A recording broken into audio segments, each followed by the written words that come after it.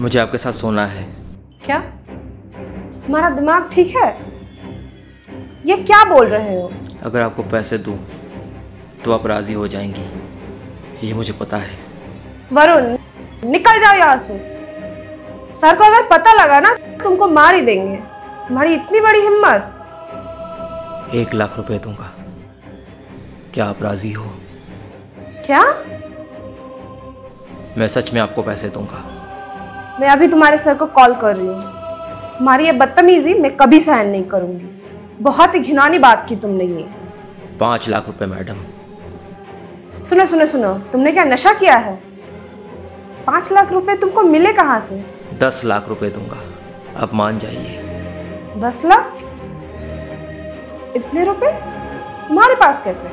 वो मैं आपको नहीं बता सकता लेकिन मैं आपको पैसे दिखा सकता हूँ। ठीक है।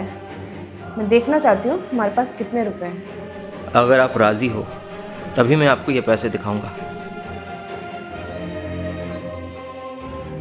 ठीक है मैं राज़ी हूँ। ठीक है लेकिन पहले मैं पैसा देखना चाहती हूँ। आइए अंदर आइए।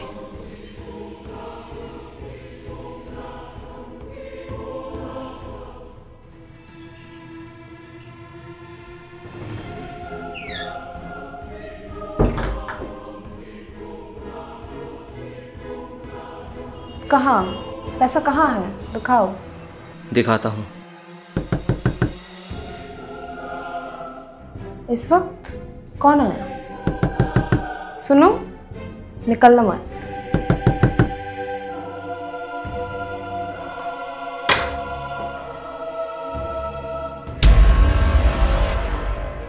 अरे तुम दोनों यहाँ पे क्या कर रहे हो? दरवाज़ा बंद करके? तुम इतनी जल्दी लौट आए आज? पहले तुम बताओ तुम दोनों क्या कर रहे थे? कुछ नहीं। मैडम मेरे साथ सोने के लिए राज़ी हुई है। बदले में पैसे लेंगी। ये क्या सुन रहा हूँ मैं? तुम मुझे धोखा दे रही थी। तुम मुझे गलत समझ रहे हो। थोड़ा विश्वास। मैं कुछ गलत नहीं समझ रहा हूँ। ये सब मैंने ही प्लान किया था। और वरुण ने मेरा साथ दिया है क्योंकि मैंने उसे ये नाटक करने के लिए कहा था। तुम सिर्फ़ पैसों से प्यार करती हो मुझसे नहीं। वरुण। हाँ सर। तुम्हें मेरा एक काम करना पड़ेगा।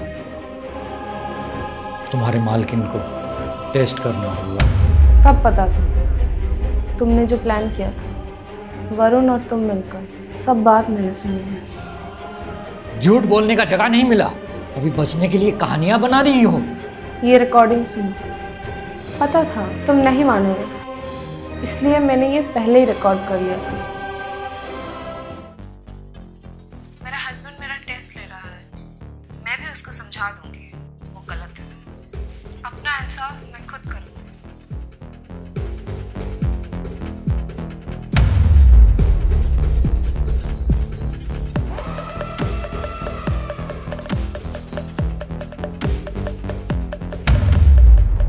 जिस हस्बैंड को अपनी पत्नी का टेस्ट लेने के लिए अपने नौकर का हेल्प देना पड़ता है, उस हस्बैंड का प्यार झूठा है।